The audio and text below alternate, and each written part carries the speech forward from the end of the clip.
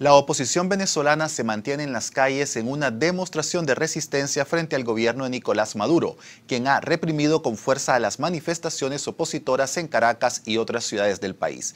La fiscal general Luisa Ortega registra 26 muertos. Y para conversar sobre la crisis política que vive Venezuela, entrevistamos vía Skype a Asdrúbal Aguiar, director de la Iniciativa Democrática de España y las Américas, IDEA, y abogado, político y escritor venezolano. Muchas gracias por acompañarnos, Asdrúbal. Hola Carlos, ¿cómo estás? Rato placer saludarte. Asdrúbal, hemos visto represión y movilización del ejército contra los ciudadanos que han marchado contra el gobierno del presidente Maduro. Se reportan al menos 26 muertos. ¿Qué costo político tiene esto para Maduro? O sea, el gobierno, eh, sabiendo que ese costo es tan elevado, este, eh, ha llegado al punto en que no le importa inmolarse frente a lo que está ocurriendo. Obviamente que la sindéresis la ha venido poniendo fundamentalmente la oposición, que se encuentra, por cierto, en una situación muy particular, porque la oposición venía con cierta mano izquierda llevando las cosas por determinado camino, este, incluso aceptó esa fórmula de diálogo que luego se frustra, pero el colectivo nacional y sobre todo los sectores juveniles del país este, simplemente llegaron al hartazgo y dicen, este, mire, más allá de lo que piensan los políticos, los dirigentes de los partidos, mire, nosotros ya no toleramos más esta situación. Entonces, por eso ha dicho bien Almagro, esto no se resuelve con que Maduro aparezca ahora diciendo que va a convocar unas elecciones de gobernadores o de alcaldes para tratar de bajar la olla de presión. O sea, ya la sociedad está en movimiento, eh, lo están haciendo de manera pacífica el gobierno tiene una situación bastante compleja y es esta que le ha dejado la calle para que reprima a la oposición a los grupos paramilitares, a los grupos que llaman, entre comillas, colectivos armados, para que sean ellos los que agregan, agregan, agregan a la población.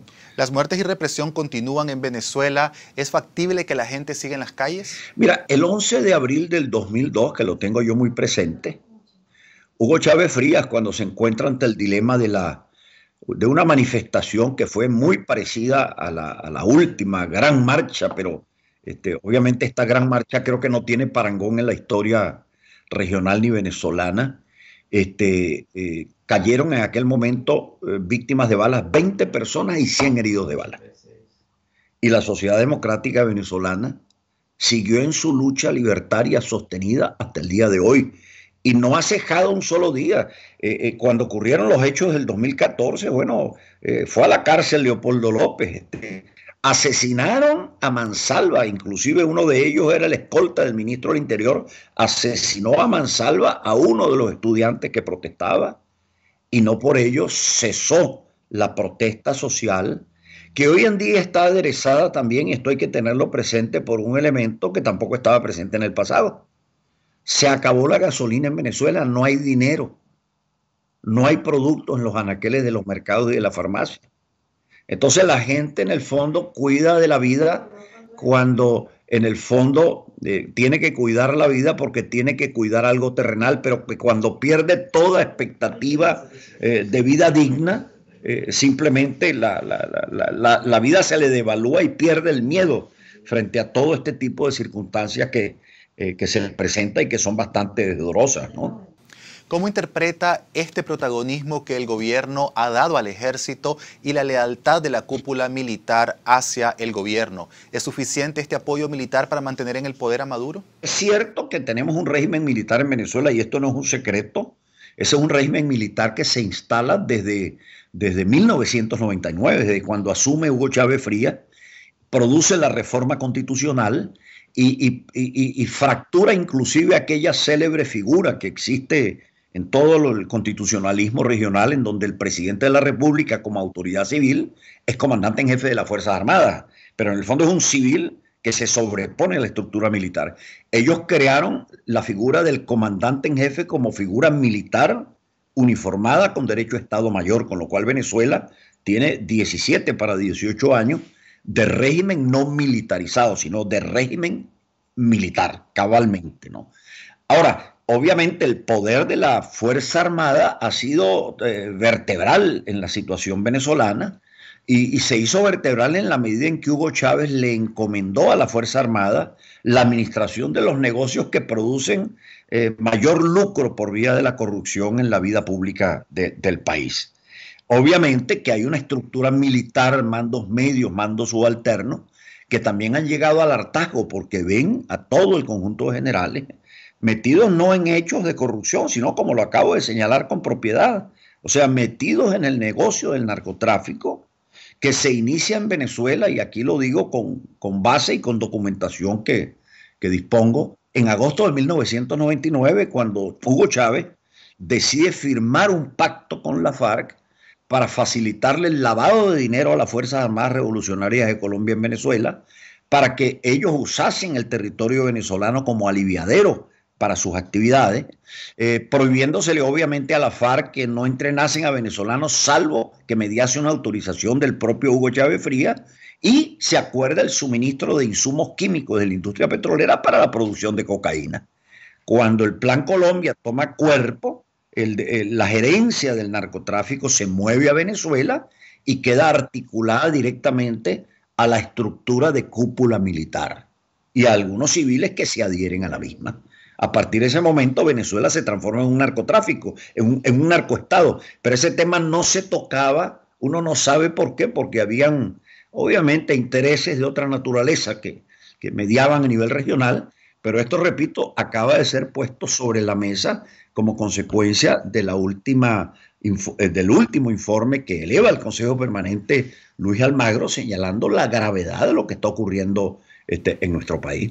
Maduro ha cerrado los espacios políticos con la inhabilitación de 15 candidatos, entre ellos los presidenciables Enrique Capriles y Leopoldo López, que está todavía encarcelado. Aunque se lograran adelantar las elecciones, ¿qué opciones tiene la oposición para ganar si no tienen un candidato?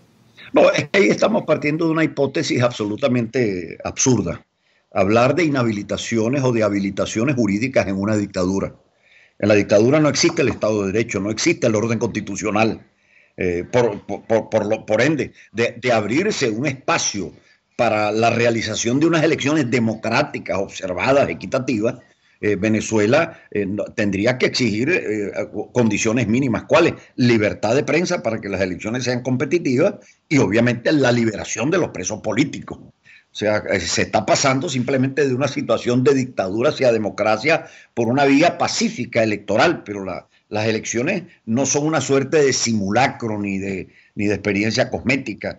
Para que el pueblo venezolano acepte elecciones, eh, repito, tienen que ser competitivas y obviamente tienen que los presos políticos salir a la calle. Ahí inclusive eh, Maduro ha despreciado abiertamente las sentencias que en contra de Venezuela ha dictado la Corte Interamericana de Derechos Humanos, en donde señala claramente que ninguna autoridad administrativa, eh, por muy rango constitucional que pueda tener dentro del Estado venezolano, puede inhabilitar políticamente a ningún ciudadano, salvo que medie una condenatoria penal definitivamente firme y de última instancia. O sea, tal y como lo establece la Convención Americana. La oposición venezolana se mantiene en las calles en una demostración de resistencia frente al gobierno del presidente Nicolás Maduro. ¿Demuestra esto unidad dentro de la oposición venezolana? ¿Crees que han logrado vencer ya sus diferencias? La oposición ha logrado mostrar unidad en los momentos críticos, en los momentos agonales. ¿Cuáles? Fueron a las elecciones sabiendo que se, que, se arriesgaba todo, inclusive el destino del país, eh, frente a la arremetida de la dictadura de Nicolás Maduro bueno, y, el resultado fueron 112 diputados, la mayoría calificada que ha generado esta crisis. Bueno, que en el interreño después se pusieron este, eh, eh, a confrontar unos con otros dentro de la misma cultura democrática que tienen los actores de la mesa de la unidad democrática, porque ahí sí hay pluralismo, o sea, ahí no hay un animismo de, eh, despótico, ¿no? Este, tenían visiones distintas porque algunos decían, bueno, Venezuela lo que tiene es una democracia deficitaria, este, bueno, hay que seguir jugando. Otros decían, no, mire, estemos claros que estamos frente a una dictadura y frente a eso obviamente habían acuerdos o desacuerdos con el tema del diálogo. Este, eh, ese ha sido un tema que ciertamente generó mucha roncha eh, a nivel interno, pero en el fondo hay unidad en qué? Unidad en el compromiso de avanzar hacia la democracia, unidad en sostener la libertad, unidad en obligar al mundo militar a que regrese a los cuarteles y deje de ser deliberante en la vida venezolana. ¿Cuáles serán los modelos económicos y las políticas públicas? Bueno, ya se verá en su momento, porque en definitiva esos son ejercicios retóricos en la medida en que todavía no hemos pasado el puente. Muchos preguntan el exterior, pero bueno, ¿cuál es el programa de la oposición? Y yo le digo, por Dios, perdone, ¿usted cree que están hablando, cómo se llama, de una lucha democrática dentro de un país con democracia deficiente? ¿O están hablando de un secuestrador, que es un narcotraficante que tiene a, un país secuestrado y que lo tiene sometido justamente a la posibilidad de un fusilamiento? Frente a eso lo que queda es simplemente, en primer lugar, salvarle la vida a los venezolanos, pasar el puente, salir de la dictadura y obviamente el resto de cosas vendrán por añadidura, ¿no? Hemos visto poca voluntad política del presidente Nicolás Maduro y del PSV para sentarse a negociar una salida a la crisis de Venezuela. ¿Crees que hay una salida a corto plazo a esta crisis que sufre el país? En la medida en que no hay recursos financieros, obviamente la, violencia eh, de, calle eh, toma sus espacios. Este, eh, en la medida en que no hay salida democrática y electoral porque el gobierno la ha cerrado, la gente pasa al plano de la resistencia. Eso al final va a producir un quiebre dentro de la misma estructura militar. ¿De qué magnitud? No lo sabemos, pero yo tengo la seguridad de que más de un actor dentro del gobierno de Maduro, que ha participado en el gobierno por convicción, por mil y otras y una mil y cualquier razón, este, se dirá y se estará preguntando en este momento, bueno, al final de la jornada, cuando esto quiebre, eh, yo voy a pagar también como miembro de un cártel. Eh, eh, fue muy significativa la disidencia que tuvo una mujer que era militante del gobierno como la fiscal general de la República, Luisa Ortega Díaz. Obviamente no fue a mayores porque tenía que haber enjuiciado a los magistrados de la Corte de la Sala Constitucional del Tribunal Supremo y no lo hizo, pero el hecho de que haya dicho hubo un golpe realmente de Estado en el momento en que se le cierran las puertas a la, a la Asamblea Nacional, yo creo que eso muestra el panorama que tenemos por delante. O sea, el país ya no es viable en las condiciones actuales y eso sí es cierto.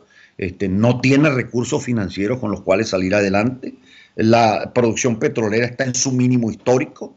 Lo poco que se produce es para mandarle petróleo sin contraprestación a Cuba las veces que se puede y mandarle petróleo a los chinos para pagarles la deuda, ¿no?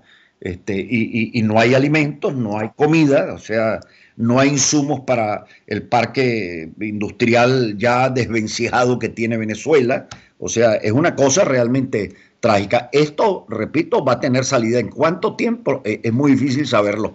Pero las condiciones objetivas hoy en día son distintas a aquellas que le permitieron a Maduro y a Chávez mantenerse en el ejercicio del poder con relativa tranquilidad. ¿no?